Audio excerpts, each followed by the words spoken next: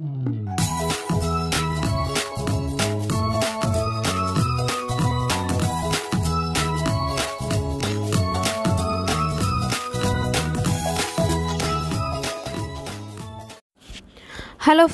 welcome to Rajesh unique cooking with me Raji இன்றைக்கி நம்ம ஃப்ளஃபியான சாஃப்டான ஒரு வெண்ணிலா கேக் எப்படி பண்ணுறதுன்னு பார்க்க போகிறோம் ரொம்ப சிம்பிளாக செஞ்சிடலாங்க இது. எப்படி பண்ணுறதுன்னு பார்க்கலாம். அதுக்கு வந்து நான் ஒரு கப் வந்து மைதா எடுத்திருக்கேன். ஆஃப் ஸ்பூன் பேக்கிங் பவுடர் ஒரு பிஞ்ச் ஆஃப் பேக்கிங் சோடா இதை வந்து ஃபஸ்ட்டு நம்ம இந்த மாதிரி ஜெலிச்சு எடுத்துக்கலாம். இதில் கொஞ்சம் கட்டி கட்டியாக இருக்கும் இல்லையா? அதனால் ஃபஸ்ட்டு நம்ம ஜலிச்சு இந்த மாதிரி க்ளீனாக எடுத்துக்கலாம். இது இப்போ தனியாக வச்சிடலாம். இப்போ இந்த மாதிரி ரெண்டு பவுல் எடுத்துக்கோங்க. நான் ரெண்டு முட்டை எடுத்திருக்கேன். இதில் வந்து மஞ்சள் கரு கரு தனியாகவும் வெள்ளை கரு தனியாகவும் பிரிக்க போகிறோம் இந்த மாதிரி முட்டையை உடச்சி இந்த மாதிரி அந்த எல்லோவை பிடிச்சிட்டு கொஞ்சமாக சாய்ச்சிங்கன்னா ஒயிட் வந்து தனியாக பிரிஞ்சிடும். அப்படி இல்லைன்னா இந்த மாதிரி ரெண்டாக உடச்சி மஞ்சள் கருவை இந்த மாதிரி ரெண்டு சைடு இந்த மாதிரி திருப்பி திருப்பி போட்டால் ஒயிட் வந்து தனியாக வந்துடும் இந்த மாதிரி பிரித்து எடுத்துக்கோங்க. இப்போ ஃபஸ்ட்டு ஒயிட் எடுத்துக்கலாம். இதை வந்து ஒரு பீட்டரால் நல்லா பீட் பண்ணிக்கோங்க. உங்கள்கிட்ட பீட்டர் இல்லைன்னா உங்களுக்கு நீங்கள் ஹேண்ட் விஸ்கே யூஸ் பண்ணிக்கலாம். அதுலேயே ஒரு பத்து நிமிஷம் நீங்கள் நல்லா இந்த மாதிரி பீட் பண்ணிங்கன்னா சரியாக போயிடும். இப்போது கொஞ்சம் பீட் பண்ண உடனே ரெண்டு ஸ்பூன் சுகர் சேர்த்துட்டு இதை வந்து நான் ஒரு அஞ்சு நிமிஷம் இப்படியே பீட் பண்ண போகிறேன் நல்லா ஃப்ளஃபியாக நல்லா பீக்காக வரும். பாருங்கள் இந்த பாருங்கள் இந்த மாதிரி தான் ஃப்ளஃபியாக வந்துச்சு பாருங்கள் அதை எடுத்து தனியாக வச்சிடலாம். அஞ்சு நிமிஷம் ஃபுல்லாக பீட் பண்ணியிருக்கப்புறம் தனியாக வச்சுடுங்க. இப்போ வந்து எல்லோவை எடுத்து நல்லா பீட் பண்ணிக்கோங்க. இப்போ இதில் வந்து அஞ்சு ஸ்பூன் வந்து சன்ஃப்ளவர் ஆயில் எடுத்திருக்கேன். அது சேர்த்துக்கோங்க. ஒரு ஸ்பூன் வந்து பட்டர் எடுத்திருக்கேன். வெண்ணிலா எசன்ஸ் வந்து சேர்த்துருக்கேன். இது வந்து ஆப்ஷனல் தான். உங்களுக்கு வேணும்னா சேர்த்துக்கலாம் இல்லைன்னா விட்டுடலாம். ஃப்ளேவருக்காக தான் அது சேர்க்குறோம். எல்லாத்தையும் சேர்த்து நல்லா பீட் பண்ணிக்கோங்க. இப்போ வந்து இது நான் வேறு கிண்ணத்தில் மாற்றிக்கிறேன் அது எனக்கு பத்தாது. ஸோ வேறு கிண்ணத்தில் மாற்றிட்டு ஆஃப் கப் வந்து சுகர் எடுத்திருக்கேன். ஒரு கப் மைதாவுக்கு ஆஃப் கப் சுகர் இது கரெக்டாக இருக்கும். நான் அந்த கப்பில் தான் மைதா அளந்தேன். அதே கப்பில் வந்து ஆஃப் கப் வந்து சுகர் அளந்துக்கோங்க. இதை வந்து சுகர் வந்து நல்லா மெல்ட் ஆகணும். அது வரைக்கும் நல்லா பீட் பண்ணணும். கொஞ்சம் பீட் பண்ணோடனே ஒரு நாலு ஸ்பூன் வந்து பால் எடுத்திருக்கேன். அதையும் சேர்த்து நல்லா சக்கரை கரையிற வரைக்கும் நல்லா பீட் பண்ணிக்கோங்க. இது பீட்டர் இருந்தால் தான் செய்ய முடியும்னு கிடையாதுங்க. நீங்கள் ஹேண்ட் விஸ்க் யூஸ் பண்ணி சூப்பராக செய்யலாம். இப்போ வந்து நம்ம ஃப்ளார் ஆட் பண்ண போகிறோம் மைதா அந்த மிக்சர் இருக்கு இல்லையா அதை ஆட் பண்ண போகிறோம் அதனால் இப்போ நம்ம ஹேண்ட் மிக்சரி யூஸ் பண்ணிக்கலாம். கொஞ்சம் கொஞ்சமாக அந்த மாவை சேர்த்து இந்த மாதிரி நல்லா கலந்து விட்டுக்கோங்க.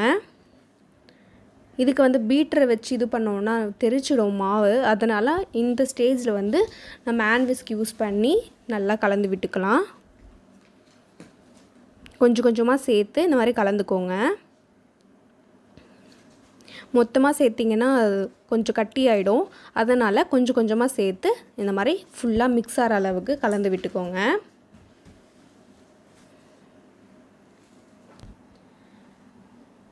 பாருங்கள் நல்லா கலந்தாச்சு.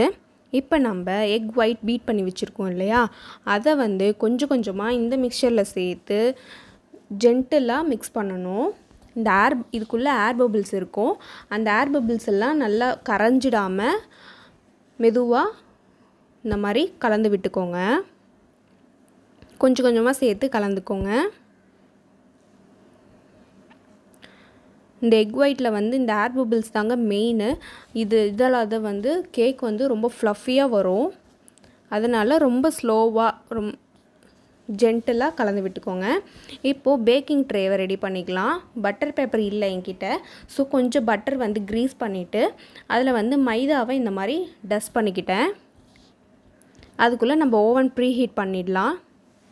நீங்கள் இது க்ரீஸ் பண்ணுறதுக்கு முன்னாடியே ஓவனை ப்ரீ ஹீட் பண்ணி வச்சுட்டா நம்மளுக்கு கரெக்டாக இருக்கும். நான் வந்து டூ ஹண்ட்ரட் டிகிரி செல்சியஸில் ப்ரீ ஹீட் பண்ணி வச்சுக்கிறேன். என்னோடது வந்து கன்வென்ஷன் ஓவன் இப்போ வந்து இதில் வந்து க்ரீஸ் பண்ண பேனில் வந்து மிக்சரை ஊற்றிக்கலாம் நான் வந்து இன்றைக்கி ஸ்டவ்லேயும் செஞ்சு காமிக்க போகிறேன் ஓவன்லேயும் செஞ்சு காமிக்க போகிறேன் கொஞ்சம் மிக்சர் இதுலேயும் கொஞ்சம் மிக்சர் வந்து நான் ஒரு கிண்ணத்தில் ஊற்றி வச்சுருக்கேன். இப்போது ஓவனில் வச்சிடலாம். ப்ரீ ஹீட் ஆகிடுச்சு கன்வென்ஷன் ஓவன்னா இந்த மாதிரி கன்வென்ஷன் ஒரு பட்டன் இருக்கும். அதை ப்ரெஸ் பண்ணிவிட்டு நம்ம டெம்ப்ரேச்சர் செட் பண்ணிவிட்டு டைமிங் வந்து நான் முப்பது நிமிஷம் வைக்கிறேன். வச்சு ஸ்டார்ட் பட்டன் ப்ரெஸ் பண்ணிட்டோம்னா ஸ்டார்ட் ஆகிடும் பேக்காக பாருங்கள் இப்போது நான் வந்து பேனில் ஒரு கப் வைக்க போகிறேன் அதுக்கு வந்து இந்த மாதிரி பேனில் கீழே வந்து இந்த மாதிரி வச்சுட்டு இந்த ஸ்டவ் கூடலாம் வரும் இல்லையா? அந்த இது அதை வச்சுட்டு குக்கர் குக்கர் கூட இந்த மூடி வரும். அதையும் மேலே வச்சுட்டு இந்த மாதிரி மூடிடுங்க. பதினஞ்சு நிமிஷம் வந்து இதுவும் ப்ரீஹீட் ஆகணும். பதினஞ்சு நிமிஷம் ப்ரீ ஹீட் ஆனவுடனே நான் இந்த கேக் மிக்சரை குட்டி கிண்ணத்தில் ஊற்றி வச்சுருக்கேன். இதை வச்சு மூடிடலாம். இதில் வந்து டைரெக்டாக ஹீட் இறங்கக்கூடாது கிண்ணத்தில் அப்படின்றதுக்காக தான் நம்ம கீழே அந்த ட்ரே வைக்கிறோம்.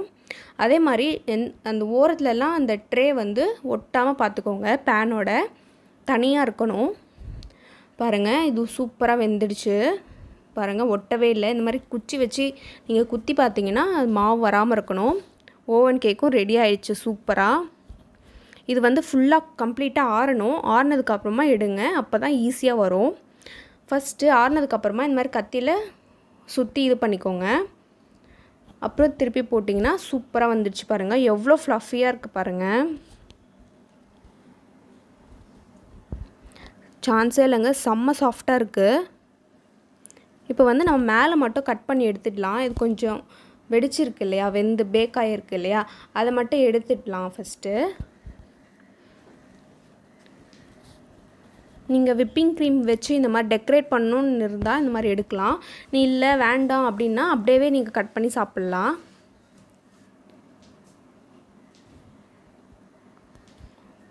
பாருங்கள் எவ்வளோ சாஃப்டாக இருக்குது பாருங்கள் நான் வந்து இன்றைக்கி விப்பிங் க்ரீம் வச்சு பண்ண போகிறது கிடையாது. அதுக்கு பதிலாக சாக்லேட் சிரப் வச்சு நான் டெக்கரேட் பண்ண போகிறேன் நான் வந்து ஹர்ஷீஸ் ப்ராண்ட் யூஸ் பண்ணுறேன் கேக்கை வந்து திருப்பி போட்டுட்டு மேலே இந்த மாதிரி சாக்லேட் சிரப் ஊற்றிக்கோங்க கீழே வந்து இந்த மாதிரி ட்ரே மாதிரி வச்சுட்டு அதுக்கப்புறமா நீங்கள் க்ரீம் ஊற்றுனீங்களா அது வந்து கீழெலாம் சிந்தாது. அழகாக வரும். இந்த மாதிரி மேலே ஊற்றிட்டு ஒரு கத்தி வச்சு இந்த மாதிரி சமமாக பண்ணிக்கோங்க.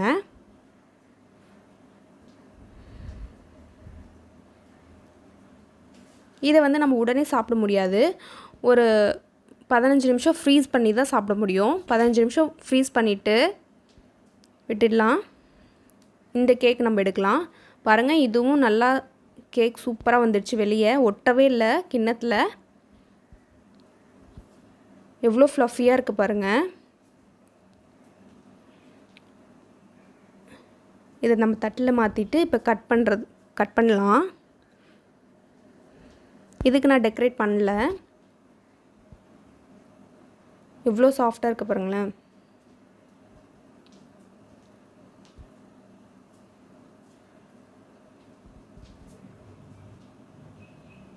சூப்பராக ரெடி ஆகிடுச்சிங்க கேக்கு ரெண்டு கேக்குமே அவ்வளோ சாஃப்டாக இருக்குது இதுவும் ரெடி ஆகிடுச்சு ஃப்ரீஸ் பண்ணி நான் ஃபிஃப்டீன் மினிட்ஸ் ஃப்ரீசரில் வச்சு எடுத்திருக்கேன். நல்லா செட் ஆகிடுச்சு அந்த சாக்லேட்லாம் இப்போ கட் பண்ணலாம்.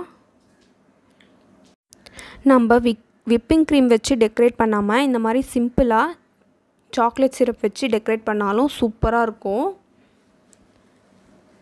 பாருங்கள் அந்த டெக்ஸ்சரே சூப்பராக இருக்குது பாருங்கள் ரொம்ப சாஃப்டாக இருந்துச்சுங்க. நீங்கள் கண்டிப்பாக இதை ட்ரை பண்ணணும் வீட்டில் ஓவன் இருந்தால் தான் கேக் செய்யணும்னு கிடையாது. நம்ம ஸ்டவ்லேயும் கேக் செய்யலாம். அவ்வளோ சூப்பராக ஃப்ளஃபியாக ரெண்டு கேக்குமே சூப்பராக வந்துச்சு. ட்ரை பண்ணி பார்த்துட்டு எப்படி இருந்துச்சுன்னு கமெண்ட் பண்ணுங்கள் இந்த வீடியோ உங்களுக்கு பிடிச்சிருந்துச்சின்னா லைக் பண்ணுங்கள் ஷேர் பண்ணுங்கள் சப்ஸ்கிரைப் பண்ணுங்கள் மறக்காமல் பெல் சிம்பிளையும் ப்ரெஸ் பண்ணிக்கோங்க. பாய்